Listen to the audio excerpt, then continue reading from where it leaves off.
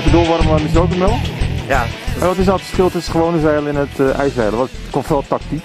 En, nou ja, het, het, gaat veel harder en je hebt veel meer te maken met schijnbare wind. Ja. Uh, daardoor moet je, je je tactiek daarop aanpassen door gewoon ja, veel overstag gaan is uh, onmogelijk. Omdat je zo, zo hard gaat. Dus uh, het grootste verschil is schijnbare wind. Maar dat hebben we ook in Vizet gevaren. Zeilen. Dus alleen is het ja, veel minder groot. Dus er zijn wel overeenkomsten? Er zijn heel veel overeenkomsten. Je kan hier heel veel van leren. Ook uh, voor alle andere zeilen. Normaal uh, kijk je met je neus naar voren, dat is nu ook wel, maar nu lig je, dat is heel anders. Ja, nu lig je. Ja, lig je gewoon wel goed te kijken. En te denken van, hm, hoe kan ik het nou beter doen dan de rest. En uh, als het dan goed gaat, dan is het hartstikke leuk. En je moet nog hard lopen bij de start. Ja, nou, iedereen heeft een rempak aan, ik niet. Maar ik heb het hieronder wel aan, maar ik vind het koud om dit uit te doen, dus dat doe ik niet. Jezus, we zijn snel ver weg, zeg.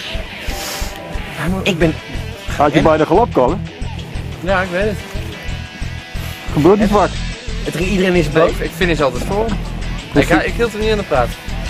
Wat was het probleem? Nou, dat weet ik niet. Ik zal iets niet goed gedaan hebben. het is net echt zijn. Ik heb het lek nog niet boven, zwem wel. Misschien volgende wedstrijd. Een paar dingetjes veranderen, proberen en dan uh, gaan we mee. Hij mist mij gewoon. Met dit andere bootje hebben jullie wel het lek boven? Ja, in de V70 hebben we het lek boven ondertussen gelukkig. Het is wel een goed gevoel, daarom vind ik het ook niet zo erg als het hier dan uh, wat minder gaat. En waar, waar, wat was het lek? Ja, een, uh, een optelsom van kleine dingen.